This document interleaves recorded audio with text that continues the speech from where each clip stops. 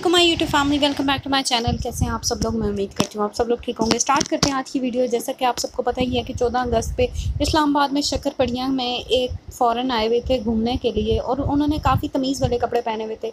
जो लड़कियाँ थी, उन्होंने सर पर दुबट्टे लपेटे हुए थे, लेकिन उसके बावजूद उनके साथ इतनी बदतमीज़ी और इतनी गैर ज़रूरी अखलाक़ात हरकतें की गई, जिसको देख के वो काफ़ी जो हैं, घबरा गई थी। उनके साथ एक मेल भी था, उसको भी समझ नहीं आ रही थी कि किस तरह पाकिस्तानियों ने उनको घेर लिया है और यहाँ तक कि वो लड़कियों को इतने गंदे तरीके से छेड़े थे कि उनके जिसम पे हाथ लगाने की भी कोशिश करते। ये पहली बार नहीं है कि फ़ॉरन्स के साथ बदतमीज़ी की हो, लेकिन पाकिस्तानियों को बिल्कुल शर्म नहीं आई ये करते हुए कि चौदह अगस्त के दिन हमारी कंट्री में कोई मेहमान आ रहा है शकरपड़िया में कैपिटल देखने के लिए और उनके साथ इस तरह बदतमीज़ी की है कि वो लोग इतने घबरा गए थे, उनको समझ नहीं आ रही थी वो किस तरफ़ जाएँ और किस तरफ़ ना जाएँ।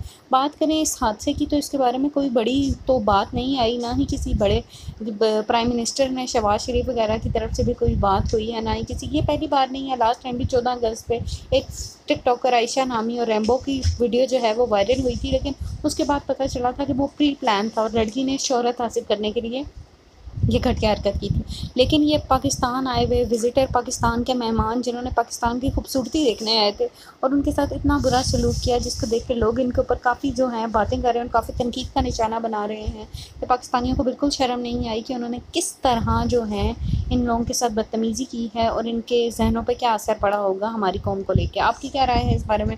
मुझे कमेंट सेक्शन में ज़रूर बताइएगा। मिलते हैं अगली वीडियो में। अपना बहुत सारा ख्याल रखिएगा। मुझे दीजिए इजाज़त। अल्लाह हाफिज़।